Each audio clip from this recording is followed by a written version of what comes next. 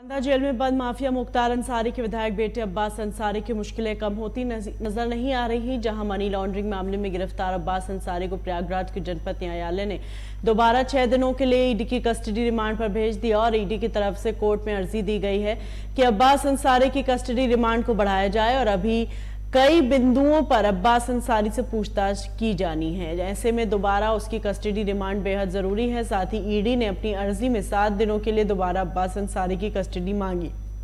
जिसके बाद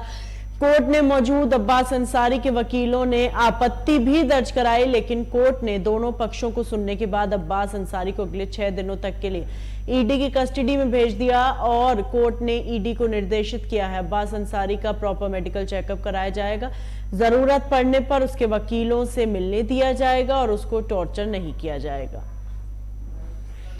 दरअसल दरअसल इंफोर्समेंट डायरेक्टर द्वारा पाँच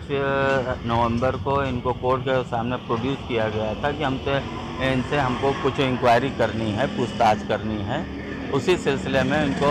पेश किया गया था जिस पर कोर्ट ने जो है 12 नवंबर 2022 के दो बजे दिन तक ईडी के कस्टडी में इनको रिमांड दिया था।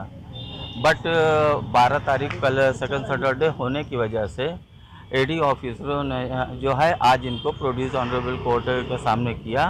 डिस्ट्रिक्ट जज महोदय चूँकि छुट्टी पे थे इस वजह से एडिशनल डिस्ट्रिक्ट एंड सेशन जज फ़र्स्ट के यहाँ इनको प्रोड्यूस किया गया है हम्म। कि हमको कुछ इंक्वायरी करनी है केस के सिलसिले में जो पूरी अभी नहीं हो पाई है हम्म। जिस पर इन्होंने सात दिन की रिमांड के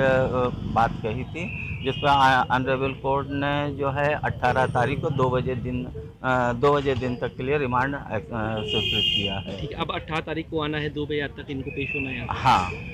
क्या नाम है नाम पर शमसुल इस्लाम सिद्दीक का एडवोकेट और हमारे बचाव पक्ष के बचाव पक्ष के अधिवक्ता हमारे साथ ललन सिंह एडवोकेट अजय श्रीवास्तव नियाज अहमद फारूक शमसुल हसन ये तमाम एडवोकेट और तमाम एडवोकेट साथ में।